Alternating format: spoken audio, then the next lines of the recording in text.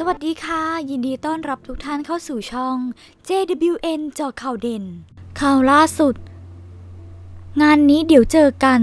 หมอทศพร ประนาม ดอนรัฐมนตรีว่าการกระทรวงต่างประเทศ หลังแจงทูตต่างชาติ เหตุสลายชุมนุมเพราะม็อบรุนแรง นายแพทย์ทศพรเสรีรักษ์ สมาชิกพรรคเพื่อไทยได้เดินทางมาที่ศาลอาญาถนนรัชดา เพื่อให้กำลังใจภริษชิวารักษ์หรือเพนกวิน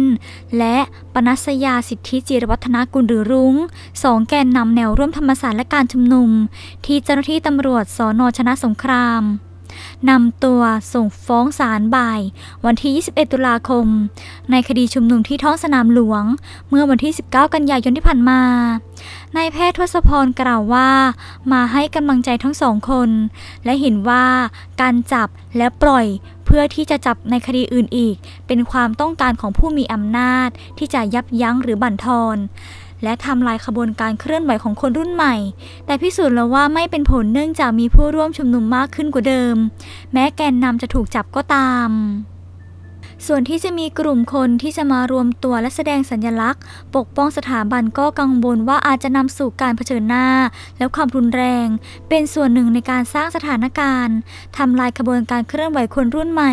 ของผู้มีอำนาจ เพราะที่ผ่านมาฝ่ายตรงข้ามดังกล่าว มีลักษณะยั่วยุก่อกวน ขณะที่การเคลื่อนไหวและ ชุมนุมของนักเรียนนิสิตนักศึกษาเป็นไปด้วยความสงบ มาโดยตลอด โดยนอกจากนี้นายแพทย์ทศพรยังกล่าวอีกว่า ขอประนามนายดอน ปรมัตวินัย รัฐมนตรีว่าการกระทรวงต่างประเทศและคณะที่ระบุกับคณะทูตต่างประเทศว่า ที่จำเป็นต้องสลายการชุมนุม วันที่ 16 ตุลาคม ปี 2563 บริเวณแยกปทุมวันเนื่องจากการชุมนุมของนักเรียน นักศึกษา สุ่มเสี่ยงที่จะมีความรุนแรงนั้นไม่ตรงกับข้อเท็จจริง และแสดงถึงความด้อยปัญญาของผู้เกี่ยวข้องที่ให้ข่าวในลักษณะนี้ อีกทั้งทางการทูตประเทศอังกฤษ มีเอกสารเกี่ยวกับความเห็นต่อการชุมนุมและการสลายการชุมนุมของรัฐไทย ซึ่งเหมือนเป็นการตบหน้านายดอน โดยใน 2-3 วันนี้ ตนจะไปจัดกิจกรรมกินกาแฟ และเข้าเยี่ยมนายดอนที่กระทรวงต่างประเทศ สำหรับการที่ฝ่ายรัฐบาลยอมเปิดประชุมสภาสมัยวิสามันนั้นมองว่า เป็นการปาหี เพราะหากจริงใจควรเปิดประชุมวิสามันตั้งนานแล้ว หรืออย่างน้อยก็ภายในสัปดาห์นี้ หากเปิดประชุมวิสามันในสัปดาห์หน้า ถือว่าช้าเกินไป เพราะในสัปดาห์ถัดไป ก็จะเปิดประชุมสภาสมัยสามัญแล้วโดยหลังจากที่ข่าวนี้ได้เผยแพร่ออกไป ก็ได้มีประชาชนเข้ามาแสดงความคิดเห็น กันเป็นจำนวนมากอย่างเช่น ดอนบิดเบือนให้ทูตฟัง แต่ทูตเขารู้ทันมานานแล้วครับ สไตล์ผู้ใหญ่ไทยโบราณครับ ใครจะเชื่อลูกพี่ดอนล่ะครับ ทุกวันนี้มันทันสมัยหมดแล้ว จะไปโกหกบิดเบือนไม่ได้หรอกอาจารย์ นึกว่ายุคนี้เป็นยุคกรุงศรีหรือยังไง สู้ๆเลยค่ะคุณหมอ ประชาชนจะเป็นใหญ่วันนั้นมันจะไม่มีแผ่นดินอยู่คุยก็เสียเวลากับคนเลียแข้งเลียขา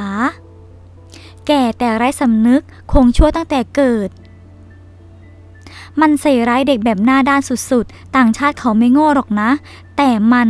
กลับโชว์โง่ ไอควายรัฐบาลนี้มีรัฐมนตรีแบบนี้โคตรอายเลยว่ะ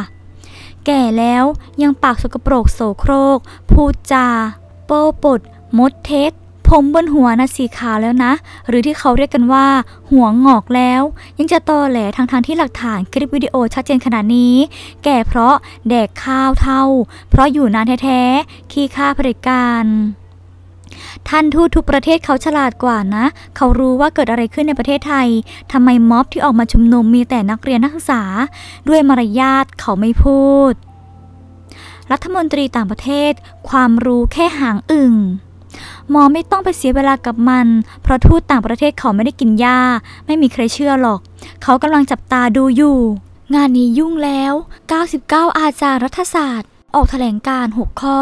จีบิ๊กตู่ลาออก หาทางแก้วิกฤต โดยเมื่อวันที่ 21 ตุลาคม ปี 2563 คณาจารย์รัฐศาสตร์ ได้ออกแถลงการเรื่อง ขอให้นายกรัฐมนตรีลาออกจากตำแหน่ง และเปิดทางให้มีการร่าง รัฐธรรมนูญใหม่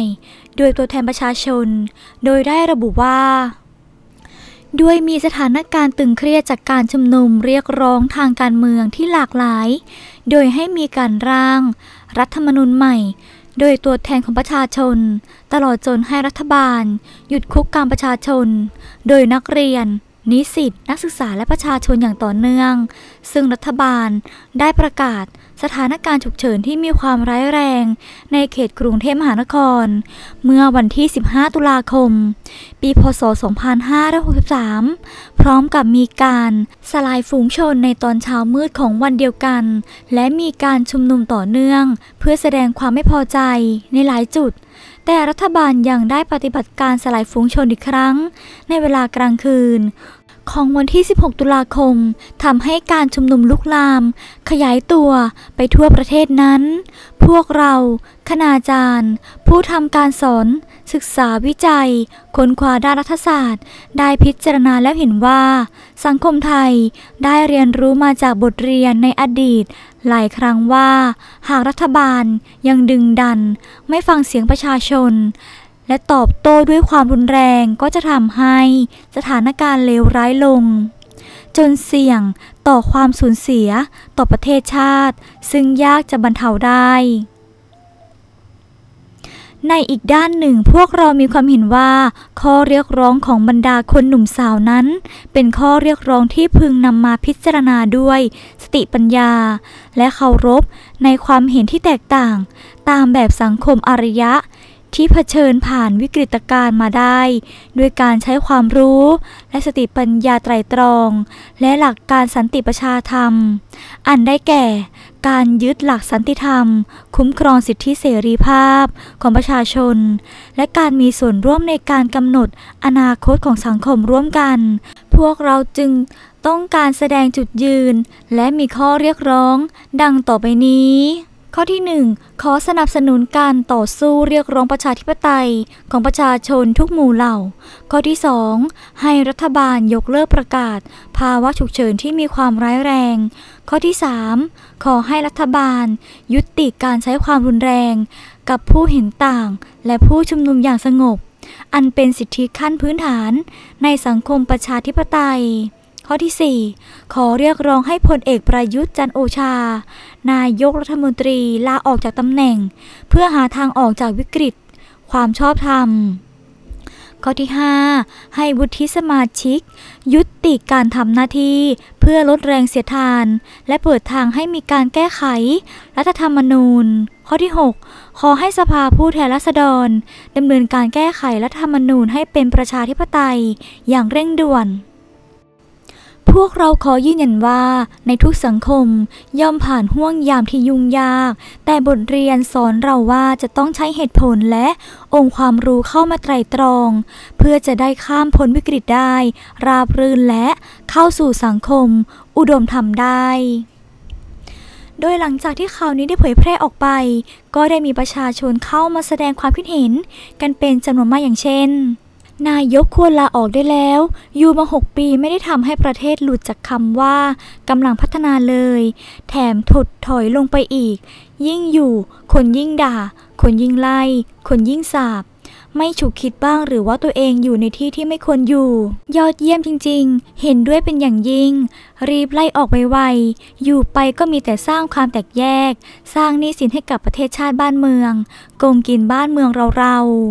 เป็นกำลังใจให้เหล่าผู้กล้าทุกคนขอให้สิ่งศักดิ์สิทธิ์คุ้มครองทุกคนครับ ประเทศชาติจะได้เจริญสักทีประชาชนยิ้มได้ ลูกหลานมีความสุขจบมามีงานทำ ประยุทธ์ออกไปและเอาโซวรากตั้งออกไปด้วย อยู่ไปก็เปลืองภาษีของประชาชน ครูแพทย์ออกมาแสดงตัวตนแล้ว ตำรวจทหารว่าไง ราชการไทยกินภาษีประชาชน กล้าพอไหม คนที่เห็นต่าง ขอขอบคุณข้อมูลเนื้อหาข่าวจากเว็บไซต์ ข่าวสด สนุก .com และไวทีวีขอขอบคุณทุกท่านที่เข้ามารับชม สวัสดีค่ะ